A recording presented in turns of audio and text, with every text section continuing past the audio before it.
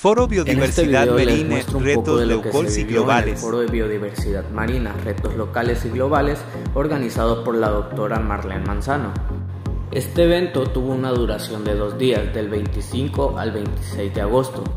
El evento se llevó a cabo en el auditorio de la Facultad de Ciencias del Mar, FACIMAR. Se contó con la participación de investigadores y doctores de talla nacional e internacional.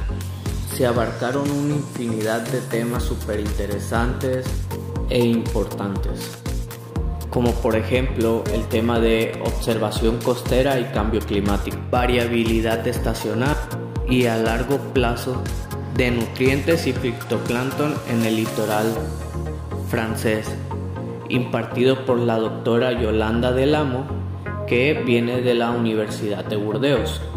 Igual que otro tema que lo impartió el maestro en ciencias Oscar Guzón, como lo es la ballena joroba en Sinaloa.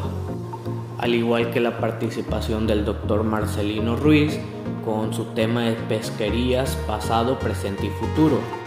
También representando a la Facultad de Ciencias del Mar, el doctor Juan Maldonado con su tema Estrategias de vida en organismos acuáticos.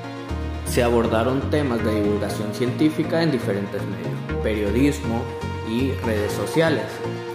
El evento lo cerró la doctora Marlene con su tema Monitoreo costero y oceánico. Esto es una pequeña parte de todo lo que se vivió en este foro. No queda más que agradecer a la doctora Marlene por darnos la oportunidad de participar y de aprender mucho.